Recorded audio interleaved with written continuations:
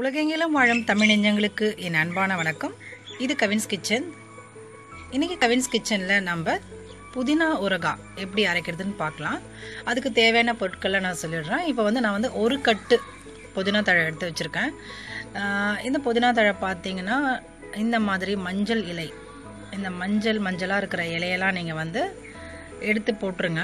இதோட சேர்த்து வந்து ஆஞ்சி போடாதீங்க. இந்த மாதிரி பச்சையாக இருக்கிற தழையை மட்டும் ஆஞ்சி எடுத்துட்டு நல்லா க்ளீன் பண்ணி ஒரு தடவைக்கு ரெண்டு தடவை ஒரு மூணு தடவை தண்ணியில் வந்து நல்லா வந்து சுத்தம் பண்ணி எடுத்து வச்சுருங்க. அடுத்ததாக அரைக்கட்டு கொத்தமல்லி தழை எடுத்திருக்கேன். ஒரு கட்டு புதினா தழைக்கு அரைக்கட்டு கொத்தமல்லி தழை. இதே அதே மாதிரி இப்போ நீங்கள் இதை வந்து எப்படி க்ளீன் பண்ணோன்னாக்கா இந்த வேர் பாருங்கள் இந்த வேர் வரைக்கும் இதுலேருந்து ஒரு ஒரு இன்ச் அளவுக்கு எடுத்துட்டு இது வரைக்கும் நீங்கள் வந்து கட் பண்ணிட்டா போதும். இதெல்லாம் தனித்தனியாக அந்த தழையை வந்து தனித்தனியாக எடுக்கணும்னு அவசியம் இல்லை. இதுலேருந்து இது வரைக்கும் நீங்கள் கட் பண்ணிவிட்டு இதை அப்படியே க்ளீன் பண்ணி வாஷ் பண்ணி சின்ன சின்ன சின்னதாக வந்து கட் பண்ணிக்கோங்க. அப்புறமா ஒரு துண்டு இஞ்சி. இது வந்து இருபத்தஞ்சி கிராம் இஞ்சி. இருபத்தஞ்சி கிராம் இஞ்சி போட்டுக்கோங்க. இதை வந்து மேலே இருக்கிற தோல் எடுத்துகிட்டு ஸ்லைஸ் ஸ்லைஸாக வந்து இதை கட் பண்ணி வச்சுக்கோங்க. அப்புறமா ஒரு பெரிய எலுமிச்சை சைஸ் அளவுக்கு புளி எடுத்திருக்கேன் இன்றைக்கி இதை வந்து தண்ணியில் ஊற வச்சு வச்சுக்கோங்க. அப்புறமா ஒரு பதினஞ்சு காய்ஞ்ச மிளகாய். அவ்வளோதான் இப்போது எப்படி செய்கிறதுன்னு நம்ம பார்க்கலாம். இப்போ பார்த்தீங்கன்னா நம்ம எல்லாத்தையுமே வந்து சுத்தம் பண்ணி வச்சியாச்சு பாருங்கள் கொத்தமல்லி தழையை நான் சொன்ன மாதிரி ஒரு மூணு நாலு தடவை நல்லா வந்து சுத்தம் பண்ணிவிட்டு தண்ணியில் வந்து நல்லா வாஷ் பண்ணிவிட்டு இந்த மாதிரி நான் வந்து பொடி பொடியாக கட் பண்ணி வச்சுட்டேன். அதே மாதிரி புதினா தழையும் வந்து மூணு தடவை வந்து நல்லா தண்ணியில் வந்து அலசி எடுத்தாச்சு. அப்புறமா இஞ்சி இந்த மாதிரி ஸ்லைஸ் ஸ்லைஸாக வந்து கட் பண்ணிக்கோங்க. இங்கே பாருங்கள் இந்த மாதிரி. அப்போ தான் வந்து வதங்கிறதுக்கு வந்து ஈஸியாக இருக்கும். இந்த மாதிரி ஸ்லைஸ் ஸ்லைஸாக கட் பண்ணிக்கோங்க. இப்போ வந்து இது எல்லாத்தையுமே நம்ம வந்து வதக்கிக்கலாம். ஃபஸ்ட்டு அடுப்பில் வந்து ஒரு வானில் வச்சுக்கோங்க. இப்போ வந்து இதில் வந்து நல்லெண்ணெய் கொஞ்சமாக ஊற்றிக்கோங்க அப்புறமா காஞ்ச மிளகாய் ஃபஸ்ட்டு காஞ்ச மிளகாய் வந்து நம்ம எண்ணெயில் வறுத்துக்கலாம். ஒரே ஒரு ஸ்பூன் எண்ணெய் விட்டால் போதும்.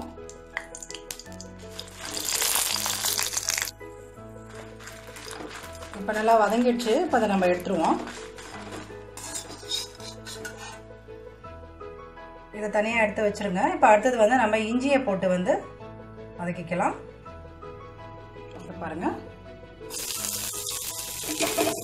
எக்ஸ்ட்ரா நீங்கள் எண்ணெய் வந்து எடுத்தவிட நம்ம ஏற்கனவே கொஞ்சமாக ஊற்றின அந்த எண்ணெயிலே வந்து இந்த இஞ்சியும் நல்லா வதக்கி எடுத்துக்கோங்க. இஞ்சி நல்லா வதங்கிடுச்சு பச்சை வாசனை போயிட்டு நல்லா வதங்கிடுச்சு. இப்போ இதை வந்து நம்ம எடுத்துக்கலாம். இப்போ இந்த வானலில் நம்ம வந்து புதினா தழையை மட்டும் வெறும் புதினா தழையை மட்டும் ஃபஸ்ட்டு வந்து வதக்கி எடுத்துப்போம். நல்லா வந்து நீங்கள் பிழிஞ்சிட்டு போடுங்க. இந்த மாதிரி. இந்த மாதிரி நல்லா பிழிஞ்சிட்டு நீங்கள் போடணும் அப்போ தண்ணிலாம் வந்து இருந்துச்சுன்னா அது வந்து அடியில் வந்து தங்கிடும். நீங்கள் தண்ணியோடு போட்டிங்கன்னா உங்களுக்கு வதங்குறதுக்கு ரொம்ப நேரம் டைம் எடுக்கும்.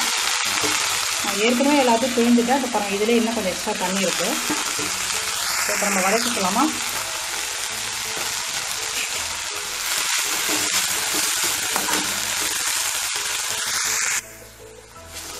பாருங்கள் நம்ம வந்து நிறையா போட்டோம்.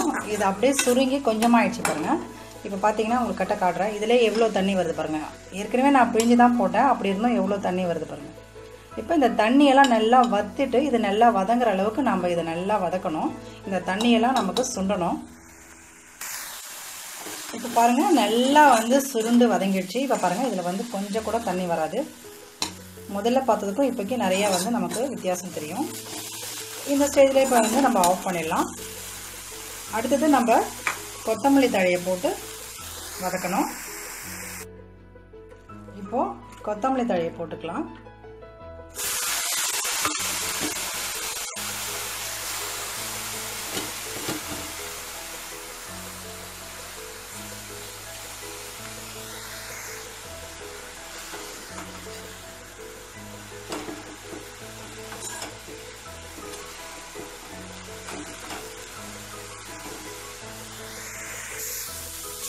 இப்போ இதுவும் நல்லா வதங்கிடுச்சு. இப்போ இதை நம்ம ஆஃப் பண்ணி எடுத்துடலாம்.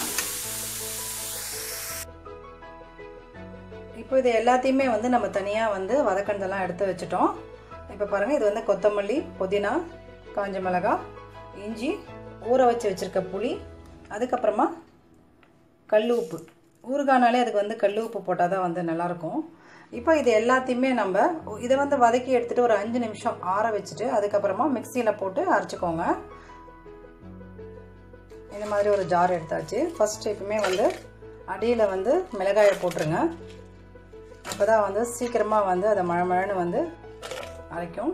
அப்புறமா புதினா தழை கொத்தமல்லி தழை இது எல்லாத்தையும் போட்டுடலாம். இஞ்சி. இது கூட இந்த புளி கொஞ்சம் கொஞ்சமாக வந்து இதில் போட்டு வந்து அரைச்சிக்கோங்க. அந்த தண்ணியோடவே. அப்புறமா லாஸ்ட்டாக வந்து உப்பு. இப்போ இது எல்லாத்தையும் போட்டுட்டு நம்ம அரைச்சிக்கலாம். நான் அரைச்சிட்டு காமிக்கிறேன். இப்போ பாருங்கள் நான் எல்லாத்தையுமே வந்து இந்த மாதிரி நல்லா வந்து மழை மழைன்னு வந்து நல்லா வந்து அரைச்சின்னு வந்துட்டேன். இப்போ நான் வந்து தாளிச்சிக்கலாம் நம்ம. இப்போ வந்து அடுப்பில் வந்து ஒரு வானல் வச்சுக்கோங்க. இப்போ இந்த வானலில் வந்து நான் கொஞ்சம் நல்லெண்ணெய் ஊற்றிக்கிறேன் எப்பயுமே ஊறுகாய்னால நீங்கள் கொஞ்சம் எக்ஸ்ட்ராவாக எண்ணெய் ஊற்றிக்கோங்க அப்போ தான் வந்து அந்த ஊறுகாய் வந்து நல்லாயிருக்கும். எண்ணெய் காஞ்சதும் நம்ம வடகம் போட்டுக்கலாம். இது வீட்டில் தயாரித்த வடகம். இப்போ இதில் நம்ம போட்டுக்கலாம்.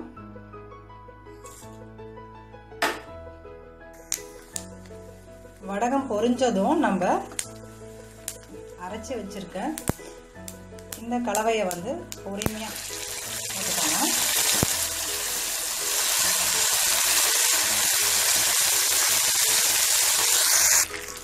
இப்போ இது எல்லாத்தையும் நம்ம போட்டுட்டோம். இப்போ வந்து இதை நல்லா வந்து வதக்கிக்கோங்க. நான் ஏற்கனவே தூதுவளை துவையல் செஞ்ச மாதிரி தான் இது. ஃபஸ்ட்டு நம்ம ஊற்றின எண்ணெய் எல்லாமே வந்து இந்த கலவை வந்து இழுத்துக்கும் அதுக்கப்புறமா நல்லா வந்து இந்த பச்சை வாசனை எல்லாமே போனதுக்கப்புறம் உங்களுக்கு எண்ணெய் வந்து வெளியில் வரும். அந்த ஸ்டேஜில் நம்ம வந்து நிறுத்திடலாம்.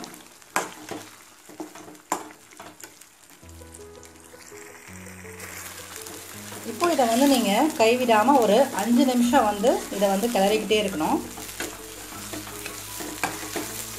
எங்கிட்ட அடி பிடிச்சிக்கும். பிறகு நம்ம ஊற்றின எண்ணெயெல்லாம் வந்து இழுத்துக்குச்சு.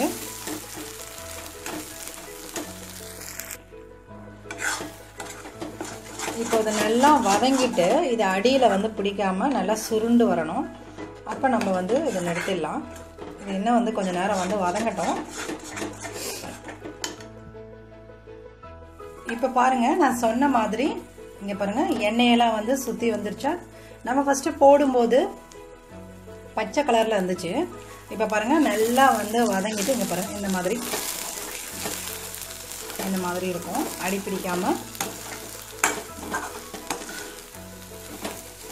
இப்போ இந்த ஸ்டேஜில் நம்ம இதை ஆஃப் பண்ணிடலாம். ஆஃப் பண்ணியாச்சு. இப்போ இதை நம்ம ஆற வச்சுட்டு தனியாக வந்து ஒரு டப்பாவில் வந்து எடுத்து வச்சுக்கலாம். இப்போ பாருங்கள் நம்மளுடைய சுவையான புதினா ஊறுகாய் ரெடி ஆயிடுச்சு. இப்போ வந்து இந்த ஊறுகாவை வந்து நீங்கள் இந்த மாதிரி ஒரு ஈரம் இல்லாத ஒரு டிஃபன் பாக்ஸில் வந்து சில்வர் டிஃபன் பாக்ஸில் போட்டு நீங்கள் டைட்டாக வந்து மூடிட்டு நீங்கள் ஃப்ரிட்ஜில் வச்சுக்கோங்க. இதை நல்லா ஆற வச்சுட்டு அதுக்கப்புறமா வந்து நீங்கள் இதை எடுத்து ஃப்ரிட்ஜில் வச்சுக்கோங்க. திருப்பி நீங்கள் வந்து எடுக்கும்போது சின்னதாக வந்து ஒரு ஸ்பூன் வச்சு அதுவும் ஈரம் இல்லாத ஸ்பூனில் வந்து இதை நீங்கள் எடுத்துக்கோங்க. அப்போ தான் வந்து நல்லாயிருக்கும் இது வந்து ஒரு மாதத்துக்கு வந்து இது கெட்டு போகாமல் இருக்கும். நீங்கள் ஈரக்கரண்டி விட்டுட்டிங்கன்னா இது வந்து சீக்கிரமே வந்து கெட்டு போயிடும். ஓகேங்க.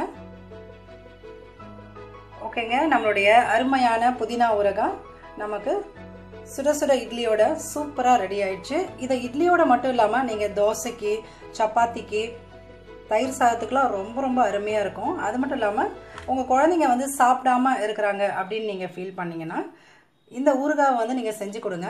கண்டிப்பாக வந்து அதுக்கப்புறம் அதிகமாக சாப்பிட ஆரம்பிச்சிருவாங்க. இந்த ஊறுகாய் வந்து இஞ்சிலாம் நம்ம போட்டு அரைச்சிக்கிறதுனால நிறைய பசியை தூண்டக்கூடிய தன்மை இதுக்கு இருக்குது சீக்கிரமாக செரிச்சிரும். அதனால் இந்த ஊறுகாய் வந்து ரொம்ப ரொம்ப நல்லது. இது வந்து வெறும் சாதத்தை கூட கூட நீங்கள் இந்த ஊறுகாவை போட்டு நல்லா கிளறி வச்சுட்டிங்கன்னா அந்த புதினா ரைஸ் ரொம்ப ரொம்ப நல்லாயிருக்கும். அதை நீங்கள் லஞ்ச் மெனுவாக கூட உங்கள் குழந்தைங்களுக்கு கொடுக்கலாம். ரொம்ப ரொம்ப விரும்பி சாப்பிடுவாங்க. ஓகேங்க. இந்த வீடியோ உங்களுக்கு ரொம்ப பிடிச்சிருக்குன்னு நான் நம்புகிறேன் நீங்களும் இதே மாதிரியே உங்கள் வீட்டில் புதினா ஊறுகாய் செஞ்சு பார்த்துட்டு அது எப்படி இருந்ததுன்னு சொல்லிட்டு உங்கள் ஃபீட்பேக் கமெண்ட்ஸ் எங்களுக்கு போஸ்ட் பண்ணுங்கள் லைக் பண்ணுங்கள் ஷேர் பண்ணுங்கள் மறக்காமல் எங்கள் சேனலை சப்ஸ்கிரைப் பண்ணுங்கள் மறுபடியும் நான் உங்களை இன்னொரு வீடியோ மூலியமாக நான் சந்திக்கிறேன். அது வரைக்கும் நன்றி.